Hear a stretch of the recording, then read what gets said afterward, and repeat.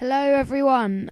I'm Jack Benham from Reviews for You, and today we have a hands on review of the Xbox 360 Elite.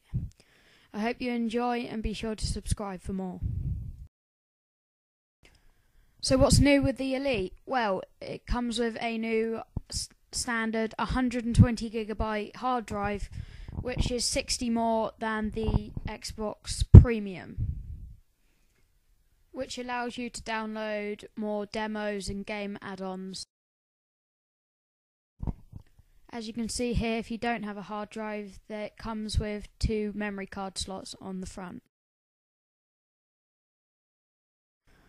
Onto the back of the console now, and as you can see, these two holes is where the adapter goes to allow you to log onto the Xbox Live, play people around the world, and talk to friends.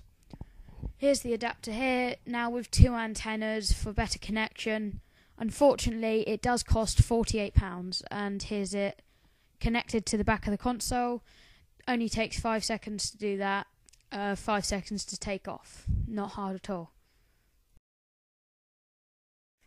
As you can see here, that's where the normal lead goes, and that is where the HDMI lead goes.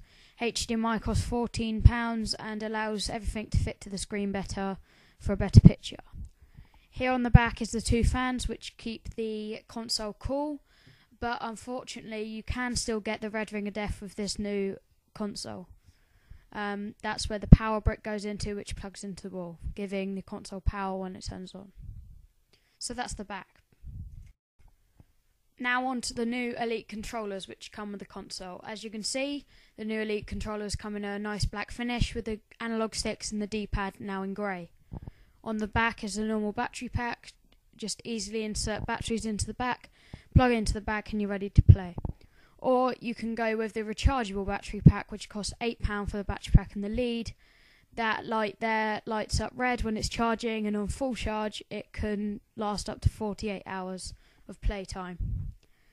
The difference between these two battery packs in looks, as you can see there, quite a lot of difference. Onto the microphone that comes with the Elite now. It has an adjustable headset, a microphone, and an earpiece. It has four foot of wire connected to the controller, so you can move away a bit from the controller. And as you can see, it has volume control and mute, all the same as the old premium microphones.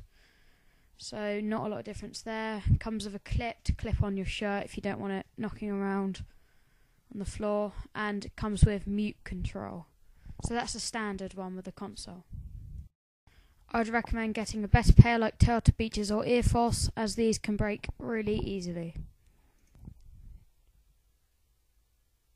Now, this adapter that has two antennas is not for the Elite. You can put it on the Premium as well.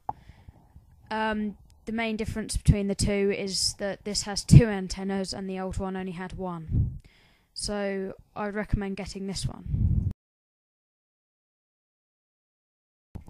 Here's another shot of the fans. There's two of them, and they try to keep the console cool, but that's not always the case. You can overheat and get the red ring of death.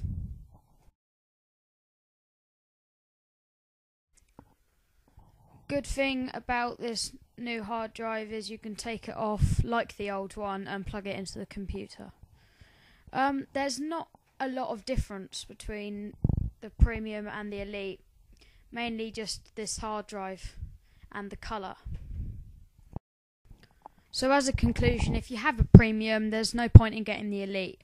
But if you have an older console and want to upgrade, you can spend just a little bit more money to get a nice new colour and a bigger hard drive.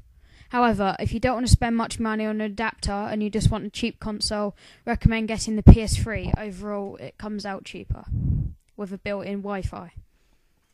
This is the end of my hands-on review of the Xbox 360 Elite. Be sure to subscribe for more. This has been Reviews for You.